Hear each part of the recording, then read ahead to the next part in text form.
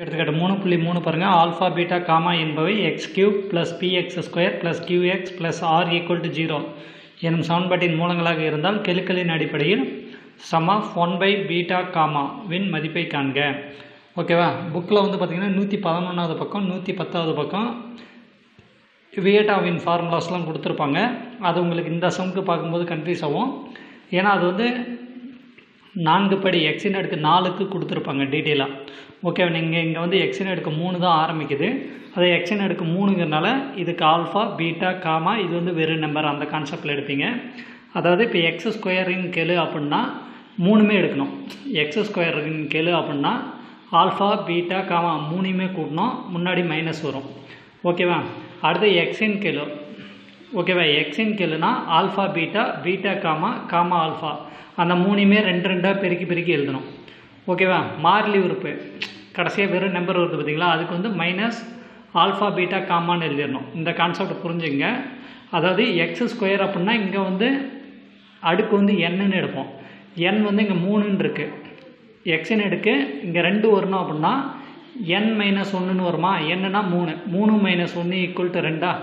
பாருங்கள் எக்ஸின் எடுக்கு என் மைனஸ் ஒன்று அப்படின்னா அது சம் ஆஃப் ஒன் ஓகேவா அது வந்து மைனஸ் சம் ஆஃப் ஆல்ஃபா ஒன்னு போடுவோம். இந்த ஆல்ஃபாவுக்கு பதிலாக தான் இந்த வேல்யூ எழுதுவோம். மைனஸ் பாருங்கள் வரும். ஓகேவா அடுத்து எக்ஸுனா மூணு மைனஸ் ரெண்டு தான் எக்ஸின் எடுக்கு ஒன்று வரும். அதான். எண்ணுக்கு வந்து மூணு மைனஸ் ரெண்டு. இங்கே வந்து அடுக்கு வந்து அதிகம் வந்து மூணு இருக்கிறனால எண்ணுக்கு மூணுன்னு கொடுக்கணும். மூணு மைனஸ் ரெண்டு எக்ஸின் எடுக்கு ஒன்று ஓகே அதை வந்து எப்படி எழுதணும்னா பெருக்கி எழுதுறது. ரெண்டு ரெண்டாக ஆல்ஃபாவையும் ஆல்ஃபா ஒன்னையும் ஆல்ஃபா டூவையும் பெருக்கி எழுதணும். அந்த ஃபார்மேட் தான் இங்கே. ஓகேவா இதில் மூணு இருக்கறனால இதையும் இதையும் பெருக்கணும் இது இதையும் பெருக்கணும் அடுத்து இதையும் இதையும் பெருக்கணும். அடுத்து மார்லி உறுப்பு. மார்லி உறுப்பு அப்படின்னா எக்ஸோட வேல்யூ வரக்கூடாது. எனிதிங் பவர் ஜீரோ ஒன்றுன்னு வரும். இங்கே எக்ஸ் இருக்காதுல்ல. அப்போ அடுக்கு மூணு மைனஸ் மூணு ஜீரோன்னு வந்துடும் ஓகேவா இங்கே என் மைனஸ் மூணு. இது வந்து பார்த்திங்கன்னா alpha one alpha two alpha three மூணுமே பெருக்கி எழுதுற மாதிரி வரும். ஆல்ஃபா பீட்டா காமா மூணையுமே பெருக்கணும். இதில் வந்து நீங்கள் ஆல்ஃபா ஒன் ஆல்ஃபா டூ தானே ரெண்டு மட்டும்தான் பெருக்கணுமா அது கிடையாது. ரெண்டு ரெண்டாக பெருக்கணும். அதை தான் இந்த கான்செப்டில் கொடுத்துருப்பாங்க. இது தெளிவாக புரிஞ்சுங்க. பாருங்கள் ஆல்ஃபான்னு வந்தால் ஆல்ஃபா பீட்டா காமா இந்த இது தான் ஓகேவா இதை தான் இப்படி எழுதியிருப்பேன். புரியணுங்கிறதுக்கு. அதே ஆல்ஃபா பீட்டா இங்கே வந்து ஆல்ஃபா ஒன்று ஆல்ஃபா டூன்னு போடுறதுனால கன்ஃபியூஸ் ஆகும். ஆல்ஃபா பீட்டான்னு வந்தால் ரெண்டு ரெண்டாக பெருக்கணும். இருக்கிறது மூணு இது. இது இதையும் பெருக்கிட்டு இதையும் இதையும் பெருக்கிட்டு அடுத்து இது ரெண்டையும் பெருக்கிற மாதிரி வரும். ஓகேவா இந்த கான்செப்ட் நல்லா புரிஞ்சுங்க. அதாவது இது வந்து எக்ஸ் ஸ்கொயருக்கு இது வந்து மார்லி உறுப்பு இது வந்து எக்ஸின் கீழ். எக்ஸ் ஸ்கொயரு இது வந்து எக்ஸு மார்லி உறுப்புனாவே நம்ம காமனாக வந்துடும் அந்த மூணையுமே பெருக்கி முன்னாடி மைனஸ் பண்ணோம் இதில் மூணையும் கூட்டி முன்னாடி மைனஸ் பண்ணணும் இது நல்லா புரிஞ்சுங்க. சரி இந்த எக்ஸ் ஸ்கொயரு இந்த மார்லி உறுப்பு எதுக்காக இங்கே யூஸ் பண்ண போகிறோன்னு பார்த்தீங்கன்னா நம்ம ரிவர்ஸில் பார்க்கும்போது தான் அது ஈஸியாக புரியும். ஓகேவா பாருங்க அந்த சவுன்பாடு எழுதி சவுன்பாட்டின் மூலங்கள் கொஸ்டின்லேயே கொடுத்தது தான் ஆல்ஃபா பீட்டா காமா ஓகேவா இப்போ என்ன பண்ணலாம் அப்படின்னா இதில் சம் ஆஃப் ஒன்னும் சம் ஆஃப் த்ரீயும் எடுப்பேன். ஏன் இந்த சம்க்கு சம் ஆஃப் ஒன்றும் சம் ஆஃப் த்ரீயும் தான் எடுக்கணுமானா கிடையாது. ஓகேவா நம்ம கொஸ்டின்லாம் அந்த மாதிரி வரும். நீங்கள் அதுக்கு அடுத்த ஸ்டெப் போடும்போது தான் இந்த ஸ்டெப் ஏன் போட்டோன்னு உங்களுக்கு புரியும். ஓகேவா இப்போ sum of one sum of ஒன்றுனா என்ன பண்ணோம் alpha plus beta plus gamma மூணையும் கூட்டி முன்னாடி மைனஸ் குறி போடுவோமா? ஓகேவா இங்கே முன்னாடி மைனஸ் குறி போடுவோம். அதை தான் இங்கே என்ன பண்ணுறோன்னா சமாஃபோன் அப்படிங்கிறது இது சமாஃபோனுங்கிறது எக்ஸ் ஸ்கொயரின் கெழு. இதில் எக்ஸ் ஸ்கொயர் என்ன வந்திருக்குன்னு பாருங்கள் பி வந்திருக்கு. அப்போ மைனஸ் பி சமாஃபோனுக்கு முன்னாடி மைனஸ் வருங்கிறனால அந்த மைனஸ் இங்கே போட்டுறேன். சம் ஆஃப் ஒன்னுங்கிறது எக்ஸ் ஸ்கொயரின் கெழு. எக்ஸ் ஸ்கொயரின் கெழு வந்து பி ஓகேவா அடுத்தது.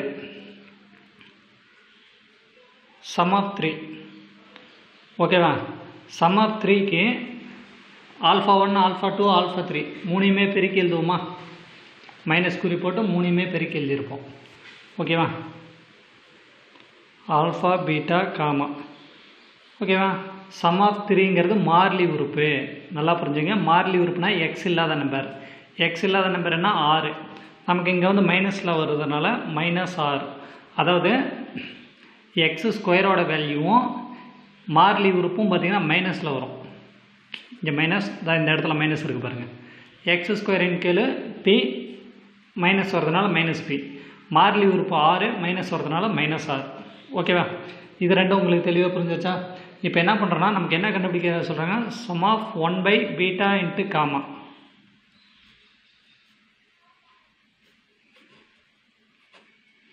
ஓகேவா இப்போ என்ன பண்ணுவோம்? இந்த ரெண்டு இது வந்துச்சு அப்படின்னாவே நமக்கு வந்து மூலங்கள் என்ன?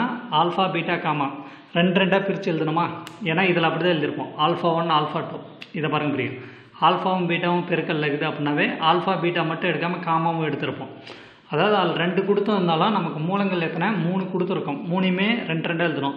இங்கே வகுத்தலில் இருக்கிறனால one five alpha beta plus one by alpha gamma plus one by beta gamma மாற்றி கூட எழுதலாம். தப்பு கிடையாது. புக்கில் பார்த்தீங்கன்னா ஃபஸ்ட்டு பீட்டா காமாவிலேருந்து எழுதியிருப்பாங்க ஏன்னா கொஸ்டினில் அப்படின்றதுனால நான் இப்படி மாற்றி எழுதியிருக்கேன் தப்புலாம் கிடையாது. இப்போ இதை நம்ம எதுக்காக கண்டுபிடிச்சோன்னா இதை நீங்கள் ஆல்டர் பண்ணிங்கன்னா இந்த வடிவத்துக்கு தான் வரும்.